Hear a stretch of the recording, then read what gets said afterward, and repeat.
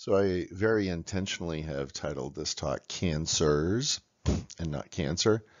Lots of different things are in here. Um, the um, background is actually kind of interesting and I'll tell you in a little bit why it's there. So Jim Lindsay is a 72 year old guy. He's of Northern European heritage. He's got COPD and COPD is a chronic disease that happens mostly to smokers. He's had a heart attack. He's had type 1 diabetes. He had a basal cell carcinoma. And basal cells are a very localized cancer. They usually don't go anywhere. But a squamous cell cancer that occurs in the lung is a much more serious condition. And Jim had this six months ago, uh, and he needs treatment. Jim's wife died five years ago from lung cancer. She was always also a smoker. Uh, he has smoked two packs a day for 52 years. So he's got 104 pack years. You just multiply the packs per day times the number of years to get pack years. And he drinks one or two six packs a week, and he's got a bourbon every night as he uses his, his nightcap.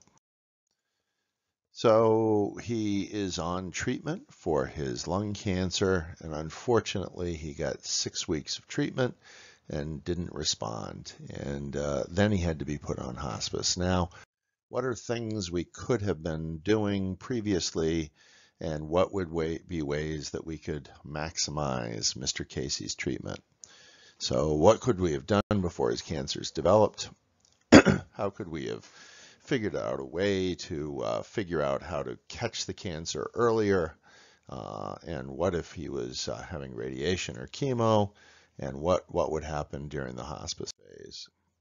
So prevention, primary prevention is preventing something before it happens. Secondary prevention is preventing uh, um, uh, problems after the patient has developed the diagnosis, stopping it from turning into something more serious. And tertiary prevention is once they've fully developed the disease, um, but have um, needs for rehab and maximizing their function. So again, cancers. A basal cell cancer is a very different situation than a squamous cell cancer in the lung. Uh, pancreatic cancer is a much more serious cancer uh, than a mild thyroid cancer. So how do cancer, uh, cancers develop? Well, normal cells develop. So they form uh, into stem cells, uh, and then those stem cells differentiate into specific types of organ cells. And then once they full, uh, gain full maturity, they stop dividing. Now, if you've lost cells, you can actually reactivate and try to repair some cells. But many types of cells in the body do not have a significant amount of replacement. The problem with cancer cells is they keep dividing, and because they keep dividing, they create um, uh, excessive growths. Um, you've probably heard of you've probably heard of Henrietta Lacks, and if you haven't heard of Henrietta Lacks, I would highly encourage you to read the book about her. It's an excellent book. Um, and uh, I would highly uh, recommend it. So um, cells keep dividing, and when they keep dividing, they get bigger, and when they get bigger, they take up nutrients, and when they take up nutrients, uh, nutrients uh, don't go to other organs, and then they get too large and they press on things, and then they eventually cause severe disability and death. Now, there's some other growths that happen in your body, but they're nowhere near as out of control. Those These are benign growths. These are small tumors which grow. They're usually encapsulated, uh, and they do not cause anywhere near the amount of problem as cancer cells. Cancer cells usually have poorly defined margins and are not encapsulated. This is actually where the term cancer comes from. Cancer is from the uh, Latin term for crab, and crabs have these long pointed things that stick out. And that's what cancers do. They're not encapsulated, they're not inside something. They basically uh, are putting their claws and their fimbriae out and um, uh, going into other tissues and, and causing problems. Um, hyperplasia is an overgrowth of normal cells. It is non-cancerous, so an example of that would be benign prostatic hyperplasia. Metaplasia is when cells convert from one type um, to another. These can be precancerous because if you have a lot of GERD and uh, your lower esophagus is constantly bathed in acid, it may convert into a, uh, a stomach cell. And so instead of being an esophageal cell, it converts to a stomach cell. If it's switched back and forth two or three times, sometimes that switch turns into a cancer, uh, and those metaplasias will turn into dysplasias, which is an actual or abnormal variation in the cells. Uh, these are um, on the way to being cancerous, and then an anaplasia is a cancerous uh, cell um, and uh, can be very serious. So what happens and that causes the cancers to grow? Uh, a lot of theories. We think that there's some oncogenes Maybe certain people have a tendency to create cancers. We think there's mutators, so exposure to cigarette smoke, exposure to alcohol, exposure to certain things. And then there may be some other things that just promote the growth once they've happened. So you have a cancer develop, and then once you've had it developed and you're exposed to um, cigarette smoke or some of these other things, it may just cause it to grow more extensively and faster. Some of the mutators and promoters, viruses, drugs and hormones, chemicals, radiation, and the sun. Uh, risk factors, we think of these as being unmodifiable, um, basically because um, uh, they can't be changed without uh, um, surgery or major um, societal shifts. And so this is heredity, age, gender, sex, uh, and poverty. So one of those some of the risk factors that you can change, you can decrease your stress level, you can change your diet, you can change your occupation. Um, you can avoid certain infections such as HPV using the uh, Gardasil vaccine. Um, you can uh, avoid tobacco, you can avoid alcohol and recreational drugs, you can make yourself less obese, and you can avoid the sun. All of these things interfere with the regulation of the cell cycle. So what is the cell cycle? Well, it's a um, throwback to um, you know, basic biology and basically the cell is at rest, then it grows, then it synthesizes DNA, then it grows some more, and then the DNA splits, and then the cell turns from one into two. Uh, this is mitosis. Um, the only place where meiosis happens is in the uh, the the genital cells, the uh, sex cells, um, and they end up with half the number of chromosomes that um, a normal cell would. But in a normal cell, it's going to divide by mitosis. So what happens in the person? Well, usually the cell cycle ends. Uh, they divide until they get fully grown. Uh, the problem again in malignancy is there's no control. Um, these cancer cells actually may break off, go through the bloodstream, get in different parts of the body, and then keep growing there. We call that metastasis. So that if you have breast cancer and it breaks off and it goes in the bloodstream and it gets into your brain or into your bones, that's a metastatic lesion. How do we decide how severe a cancer is? Well, cancers that are well differentiated are easier to treat. And by well differentiated, we mean how much it looks like the original tissue. So if you identify a cancer in the brain and it looks a lot like a breast, breast uh, tissue, it may be easier to treat than one that looks totally anaplastic, that looks almost like a regular stem cell. Uh, also, when we're looking at a cancer, we want to see how big the tumor is, and we definitely want to see if it has metastasized anywhere. Carcinoma is a cancer of an epithelial tissue. A sarcoma is a cancer of a connective tissue. So bones get sarcomas. Bones don't get carcinomas. Pancreatic tissue gets a carcinoma. Uh, some other cancers have a less obvious name, such as lymphoma, uh, which you would think just is a uh, tumor. Oma means tumor of the lymph glands, uh, but by definition, essentially all lymphomas are cancers. So where can you get cancers? Anywhere you grow cells. So um, how can we treat cancers? Well, we can do surgery and remove the uh, area that has the crazy division. We can do radiation and kill the rapidly dividing cells with radiation, or we can do chemotherapy. And since this is a pharmacology course, that's mostly what we're going to talk about today. So drugs that fight cancer. Um, I would highly recommend a book called The Emperor of All Maladies. Uh, and I have actually posted an excerpt uh, that the author is reading on the Blackboard. It's a great book, uh, worth reading. Uh, Ken Burns also did some PBS specials based on that book. So when you have cells and they're rapidly dividing, we can try to kill them. Uh, cytotoxic agents uh, fall into these four major categories, and we'll talk about each one of them in a minute. Other cancer treatments are hormonal. We can actually create a hostile environment for the cells that divide based on the hormones in the body, because usually many cells that divide divide based on a signal from the hormones. We can also use steroids. Steroids are actually great treatments for lymphomas because they really do interfere with that uh, lymphatic and, and lymphocyte tissue. And most recently, we've uh, started treating them with monoclonal antibodies. And that's a monoclonal antibody that you see actually in the background. And so basically what happens is the cancer cells aren't usually recognized as other cells because they are the body's own cells.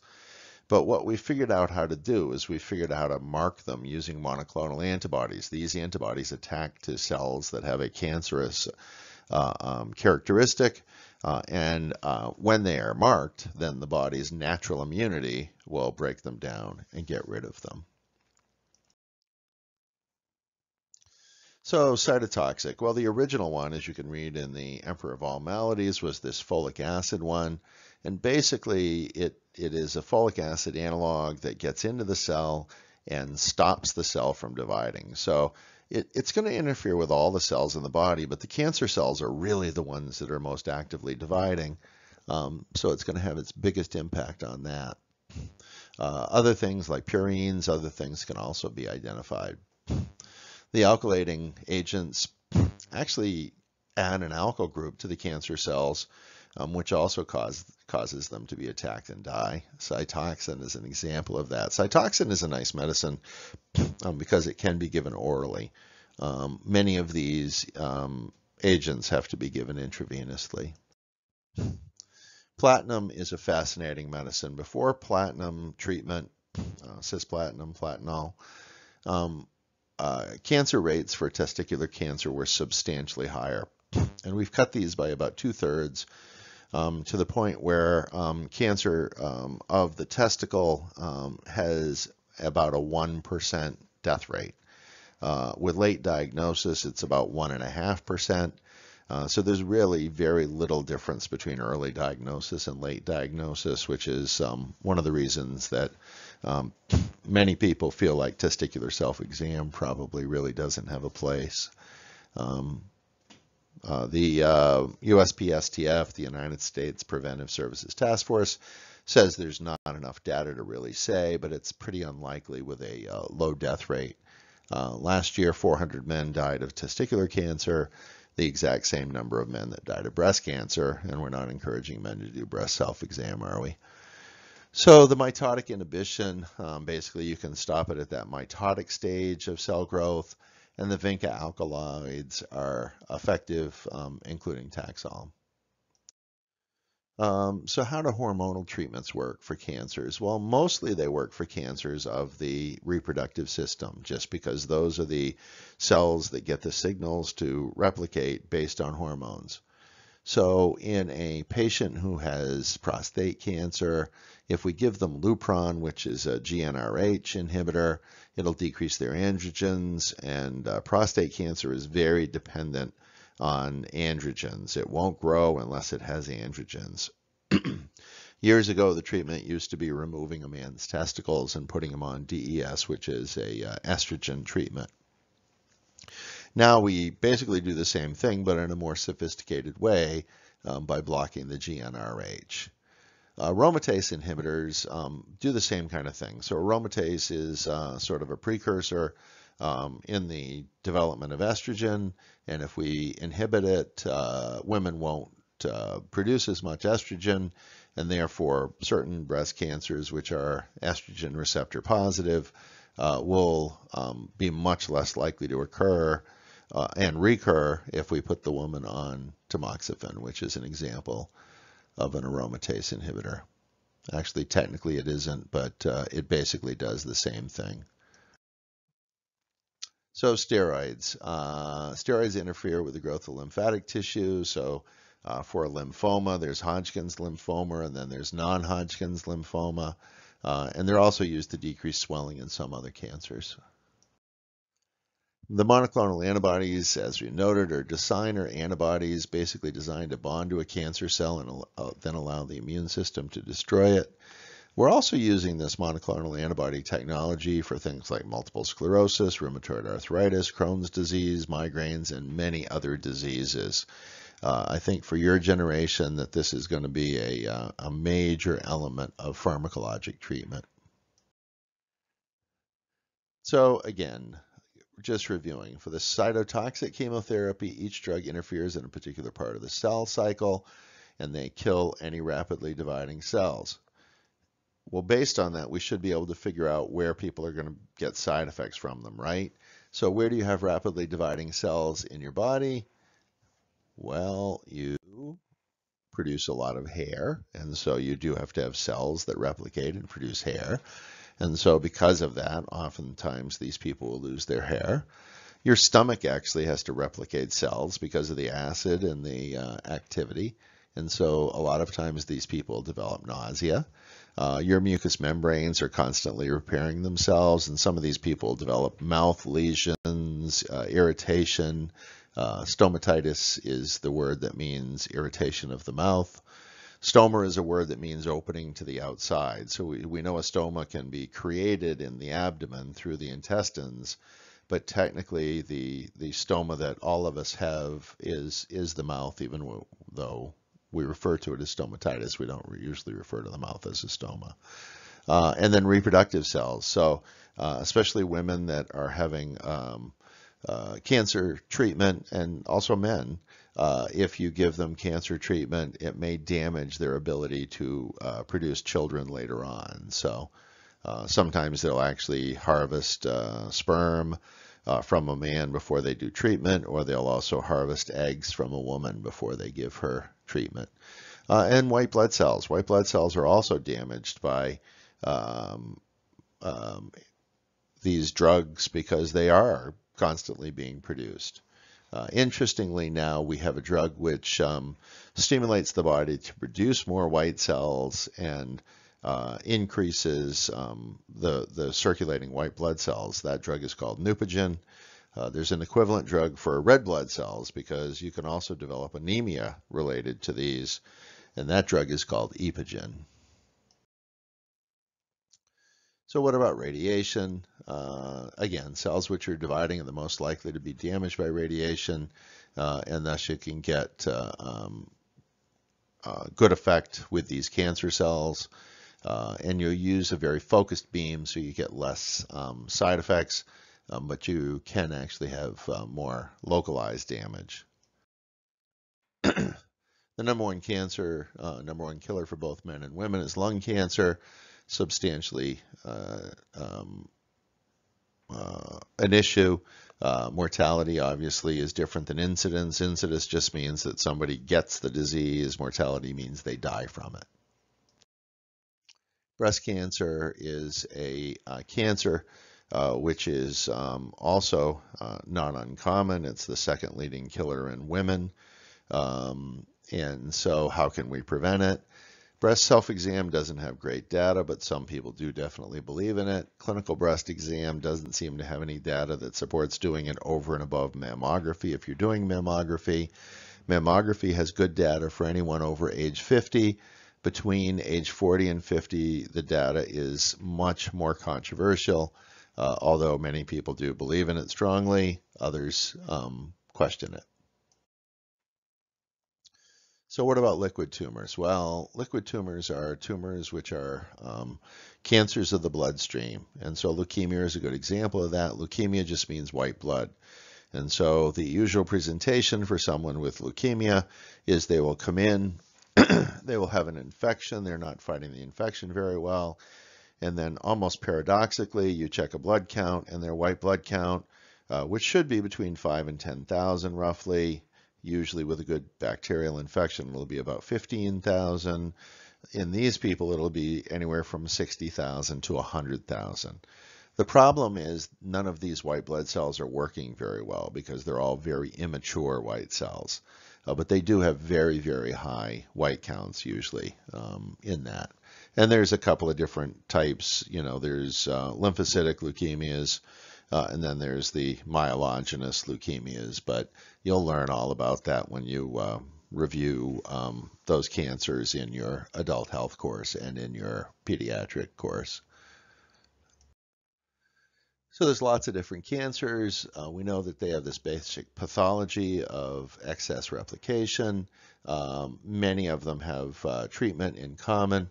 Uh, and we know that certain cancers tend to respond to certain treatments. How do we know that?